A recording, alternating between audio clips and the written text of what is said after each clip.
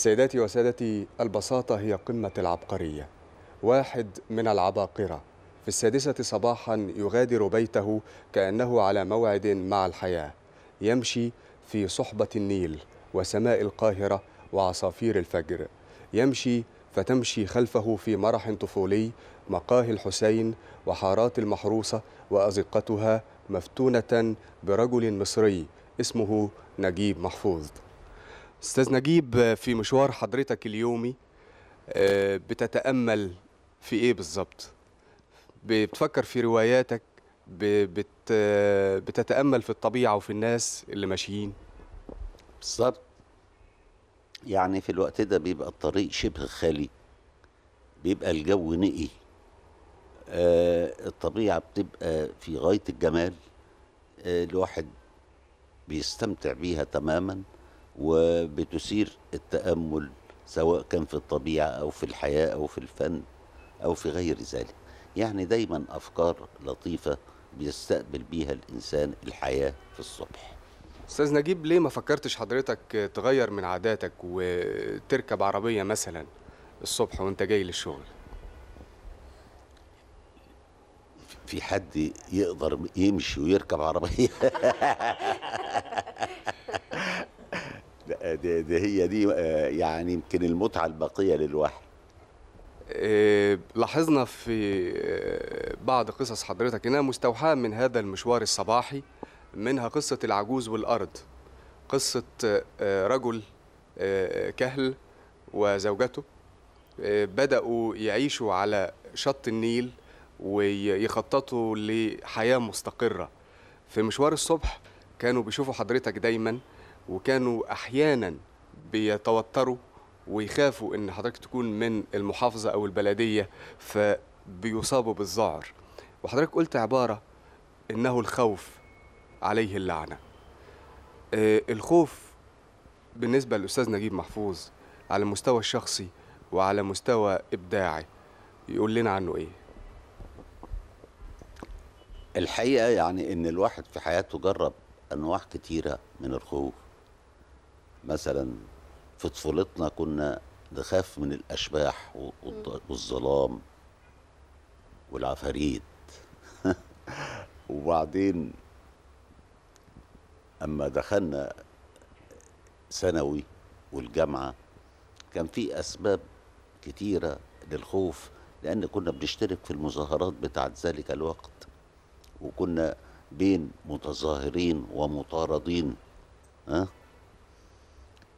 في حاجات كمان آه، ثابتة والخوف فيها منطقي لدرجة كبيرة.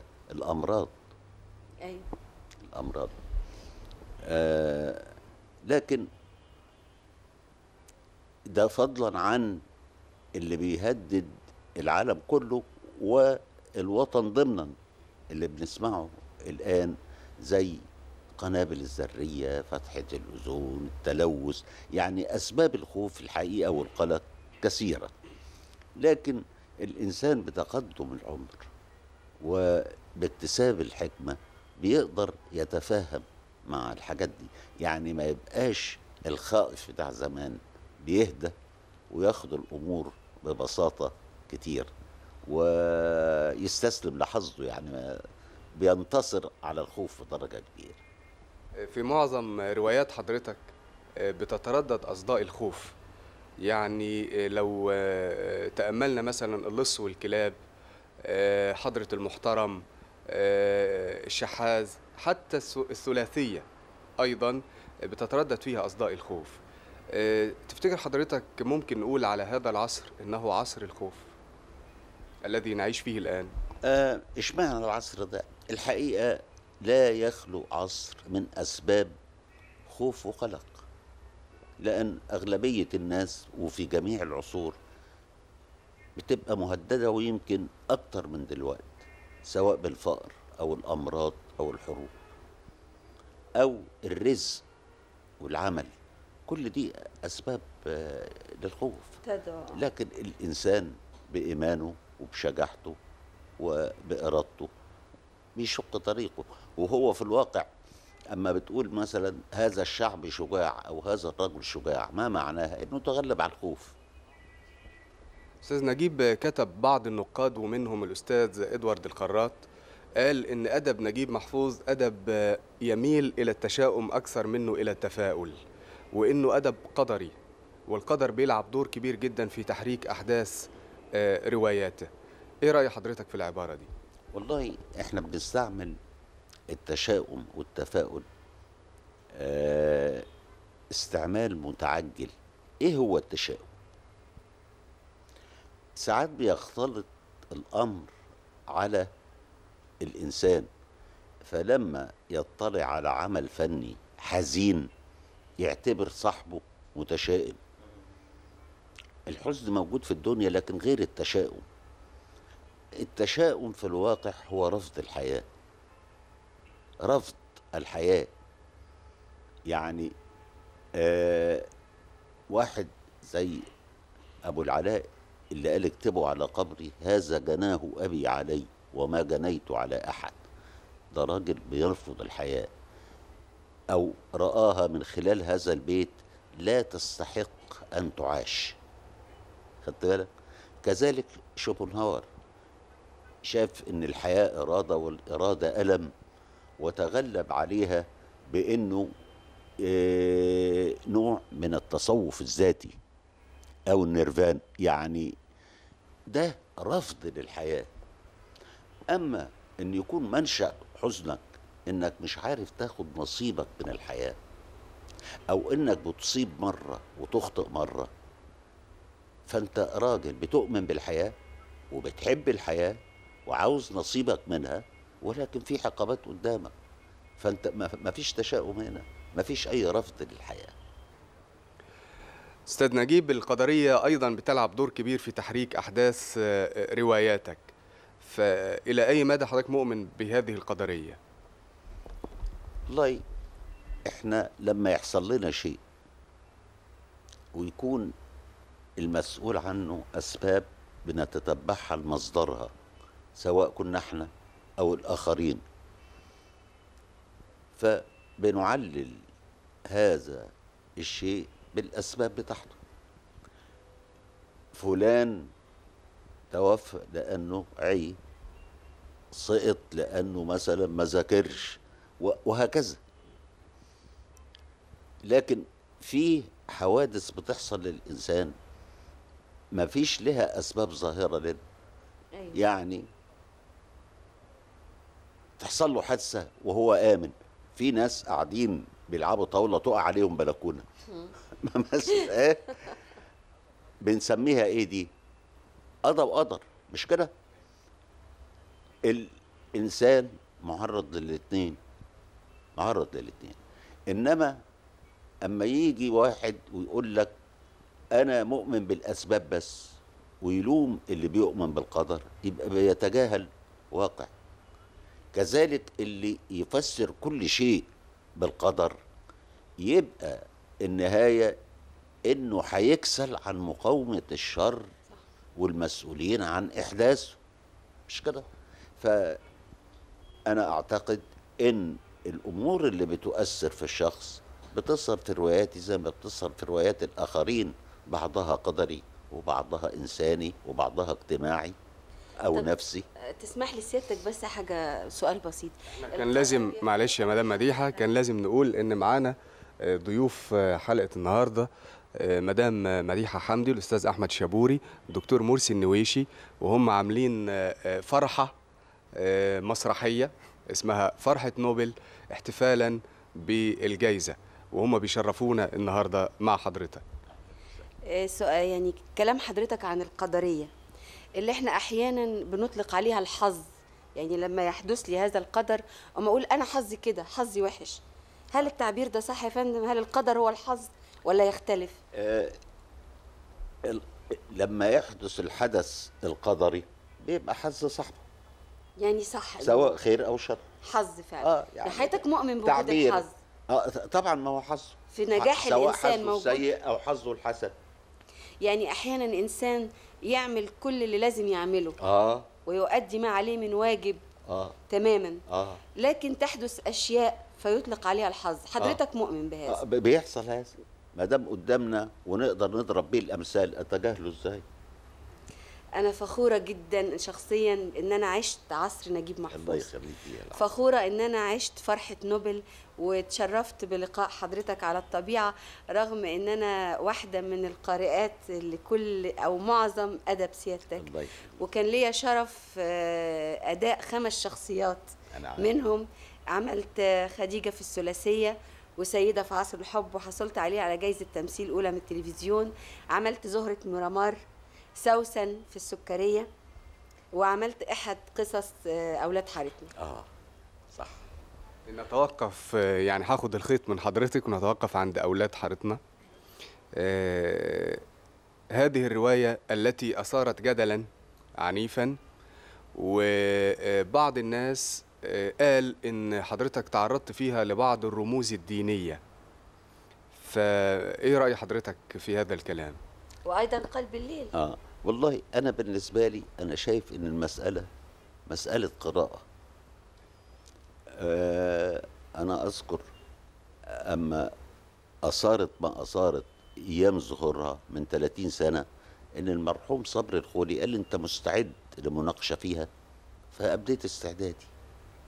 وما تمتش من الناحية الأخرى يعني رحت له في الميعاد اللي حدده قال لي أنا هبقى أندهلك لما يجتمع وفات على كده 30 سنة. ربنا ونسيتها يديك العمر. يعني ما الحملة تجددت عليها بعد الجايزة فقط. وطلع رأي غريب إن أنا خدت الجايزة بسببها وهذا مش صحيح لأن تقرير الجايزة آخر حاجة ذكر فيها أولاد حارتنا أستاذ نجيب بنطلب من حضرتك آه، آه، توضيح يعني الخطوط الرئيسية للرواية عشان السادة المشاهدين يعني يبقوا معانا في مناقشة آه، مشكلة أولاد حارتنا. طبعا الحقيقة إحنا وقتنا الآن لا يتسع للشرح الكامل إنما يتسع لمثال تستنتج منه وحضرات المستمعين الباقي. في الأدب الرمزي عاوز طريقة للقراية. في رمز وشيء بيشير إليه. ف وانت بتقرأ الرمز اعتبره رمز مش المرموز. وإلا هتلخبط الاتنين يبقى راح العمل مش واخد بالك؟ إحنا عندنا مثل في تراثنا كليلة ودمن أيوة. عالم حيوان إنما المؤلف قصد إنه يعكس بيه العالم الواقعي في زمن السلطان والوزراء و و و. عمل بدائل لهم في الاسد والثعلب و و. مثلا الثعلب يصح يكون بيمثل دور الوزير. بيمثله في إيه؟ مثلا في حكمته أو دهائه. مش كده؟ إنما يجب يحافظ على عالمه الحيواني. يبقى فيما عدا ذلك حيوان وإلا تبقى الحكاية تفقد واقعيتها وإقناعها للقارئ. فما يصحش يجي واحد يقول له إزاي تخلي معالي الوزير ينبش في الزبالة؟ لا ده اللي بينبش الثعلب ها؟ مش الوزير. أنت فهمت قصدي؟ فهو الغلط كده انه جمله الرمز واعتبروه المرموز. فاتهدم العمل من أوله لآخره. فهي خطأ في القراءة.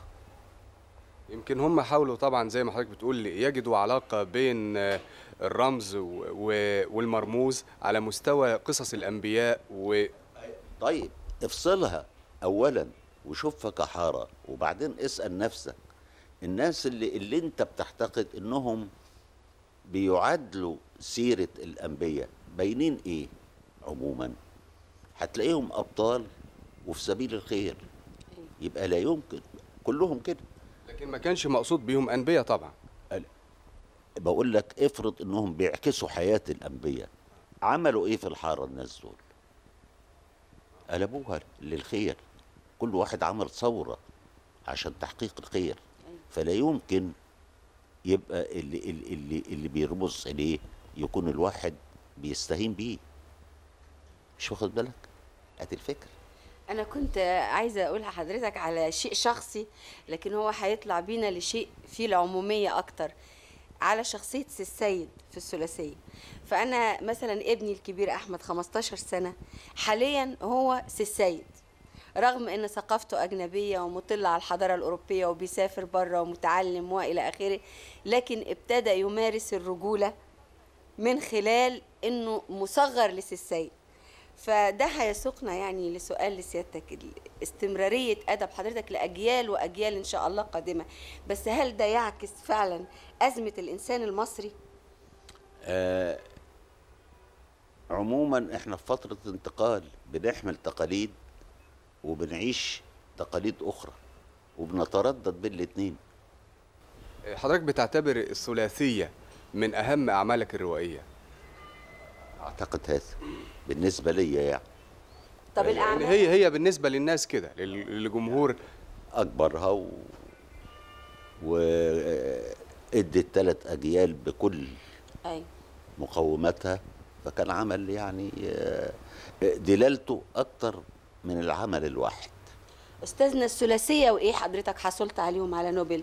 معلومة للمشاهدين. اللي يعني الأعمال. ب- بتطمح لنفس الاتساع يمكن ملحمة الحرافيش أيضا. لا الأعمال اللي سيادتك حصلت فيها على الجائزة أو اللي كانت في التقييم. آه طبعا هم بيتكلموا اولا على الأديب وإنجازه اللغوي في أدبه. ده أساسا اللي بيلفت نظرهم أثره إيه في أدبه؟ وينوهوا ببعض الأعمال. فكان التنويه بالثلاثية أيوة. وصرصره فوق النيل وبدنيا الله وأخيرا آه، أولاد حضرتك وحتى فيها قالوا إنها بتدل على بحث الإنسان الدائم للقيم الروحية. لأن لو استشفوا فيها إنه بحث القيم مادية آه، ما كنتش اخد الجايزة. ضد مضمونها أستاذ نجيب آه، لو توقفنا عند السير الذاتية السير الذاتية. آه، معظم الكتاب بيحاولوا تسجيل آه، يعني آه، أحداث حياتهم في كتاب للناس وللتاريخ لكي يسجلوا يعني مواقف مهمة ويوضحوا بعض المواقف اللي كان حواليها جدل. ليه حضرتك ما فكرتش تعمل سيرتك الذاتية؟ اولا من ناحية عملت أكتر من سيرة ذاتية. من خلال الروايات؟ من خلال الأعمال اللي عملتها زي كتابي مع جمال غطاني مع الأستاذ فؤاد دوارة كتير.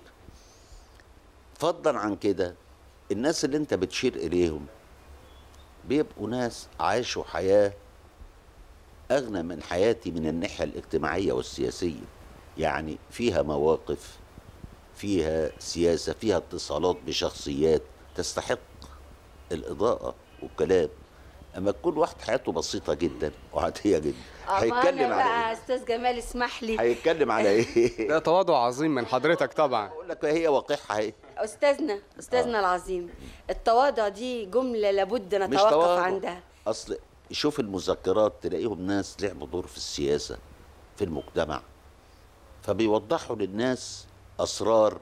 يمكن التاريخ نفسه ما يصلش ليها إلا عن طريق مذكراته إنما الرجل العادي موظف بسيط مش عارف إيه حياته بيكتب رواياته والروايات أهي. هقول لكم يعني ما فيش الحياة اللي تغري إن الواحد يكتبها. لا مغامرات كبيرة ولا اتصالات كبيرة. يا ريت حضرتك يعني بالمناسبة دي لأنه بالذات بالنسبة للفنانين ما نطلق عليه بالآفة وهي الغرور. عندما ينتشر ويتنجم واسمه يصعد فبتنتاب هذه النزعة. لكن حضرتك نموذج مشرف جدا ومثل يحتذى في تواضعك وبساطتك. يا ريت كلمة منك كأستاذنا الكبير نجيب محفوظ لهذه الأجيال. لا ما هو أصل الكلمة هتهز التواضع نفسه. مش كده ولا؟ يا ستي بس هم يبقوا فنانين كبار. ويدونا فن حلو ويغتروا أستاذ نجيب أول أجر تتقاضاه حضرتك عن عمل من أعمالك كان جنيه؟ أول عمل إيه؟ آه، أول أجر تتقاضاه عن قصة تنشر لحضرتك كان جنيه. آه. مش كده؟ كان كان يعني بيمثل لك قيمة كبيرة أكتر من إنه مجرد كان جنيه يميها جنيه. كان ذهب يا أستاذ أنت ما نجيب تقدرش تتكلم عنه لأنك ما شفتوش. اكبر عمل حضرتك تق... يعني أكبر أجر حضرتك تقاضيته عن رواية من رواياتك أو عمل من أعمالك. لا شوف الأدب محدود. مش واخد بالك؟ مهما كان. لأنه مرتبط بالقراء وأنت عارف محدوديته. يمكن لما بيتحول للسينما للتلفزيون بيدر خيرا أكتر. آه، حضرتك قلت برضو في مقولة إن الرواية حظها وحش جدا في هذا العصر وإن هي يعني بوجود أجهزة أخرى زي التلفزيون والفيديو والأقمار الصناعية آه، هيتقلص دور الرواية. لكن آه، يمكن آه، جايزة نوبل وهذا التكريم آه، بيخلي الناس تتوقف مع الرواية مرة أخرى وتبدأ تستعيد قراءة الرواية والاهتمام بيها.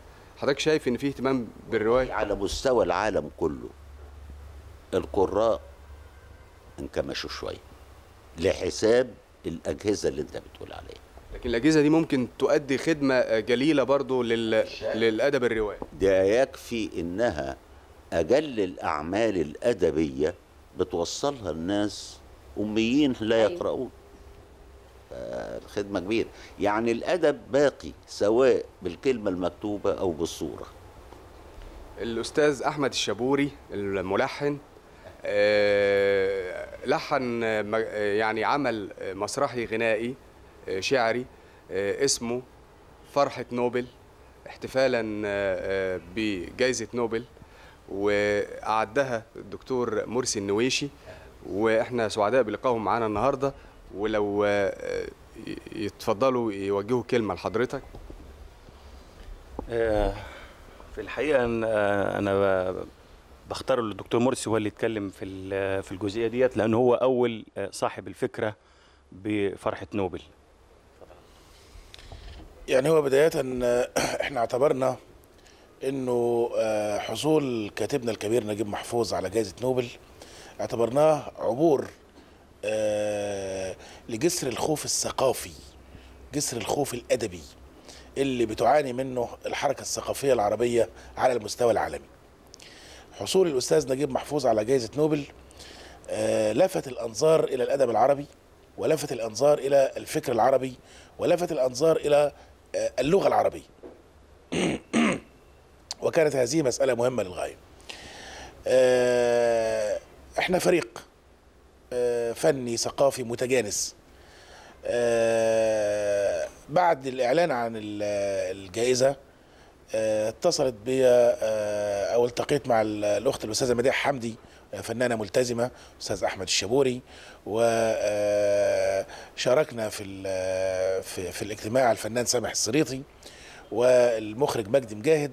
واتفقنا إن إحنا نعمل فرحة خاصة للأستاذ نجيب محفوظ بمناسبة آه، حصوله على جائزة نوبل.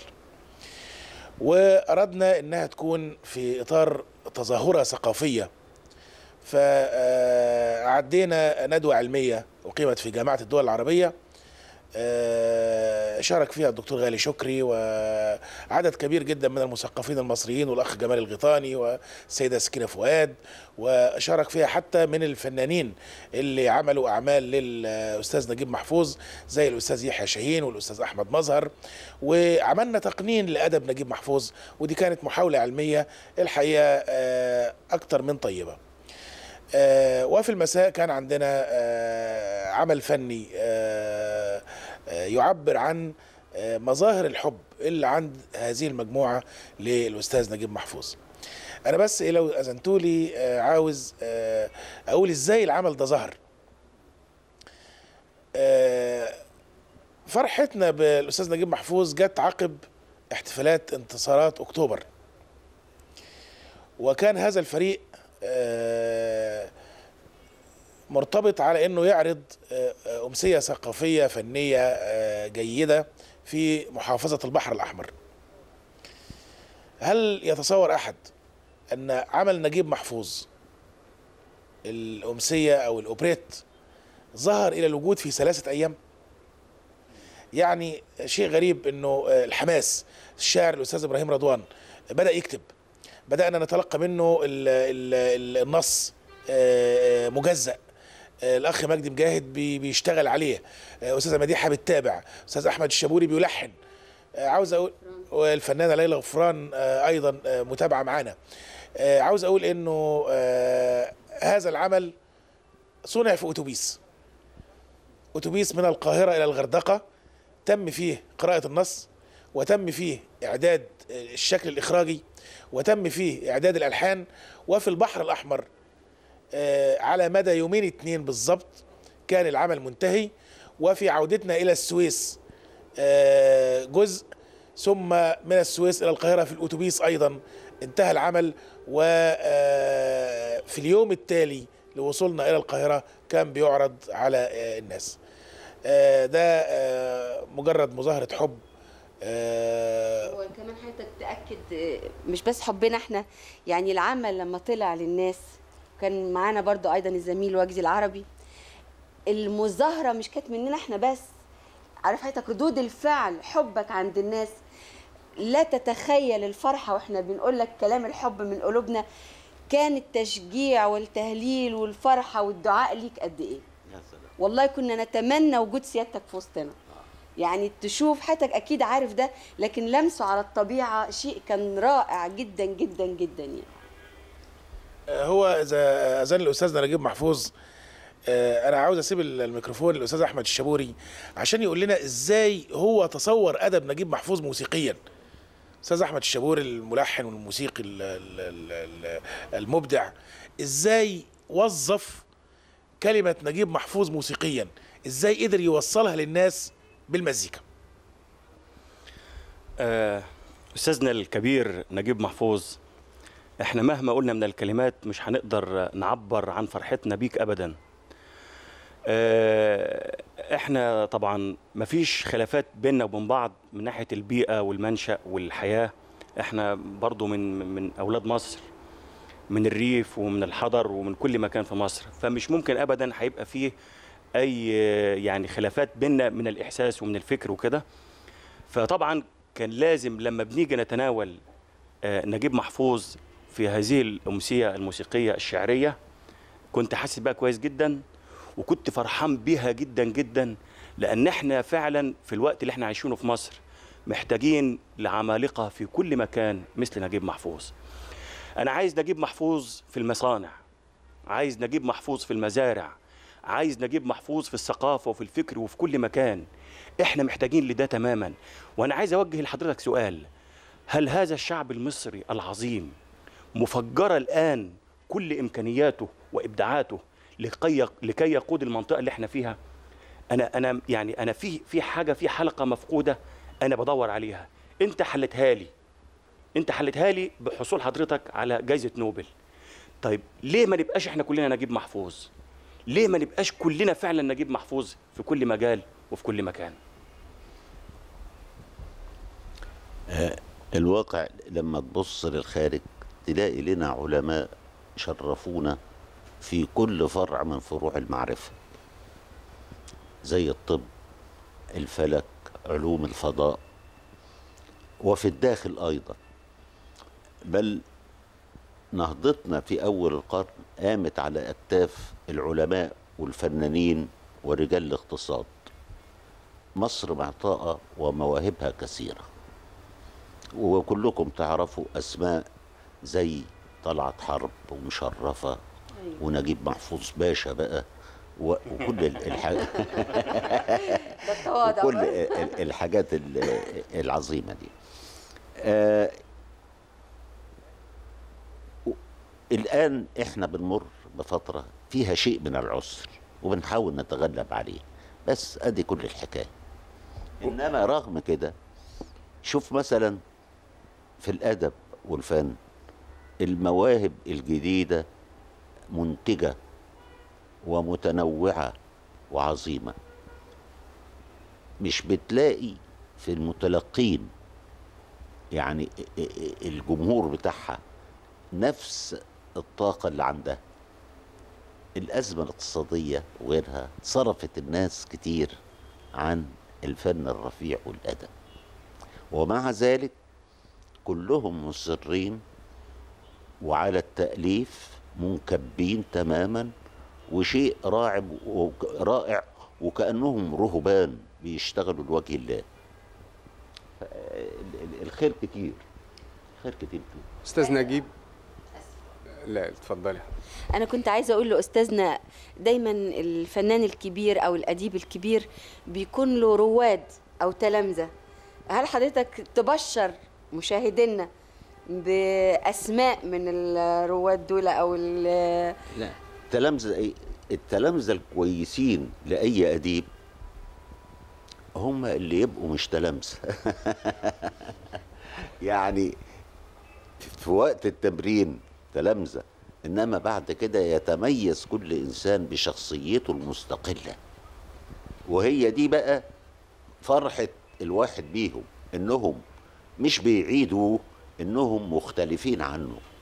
وجمال في الوقت نفسه. آه، قبل آه، نختتم هذا اللقاء مع حضرتك بنتساءل ما هي الأمنية اللي بيتمناها كاتبنا الكبير نجيب محفوظ وبيتمنى حدوثها قريبا؟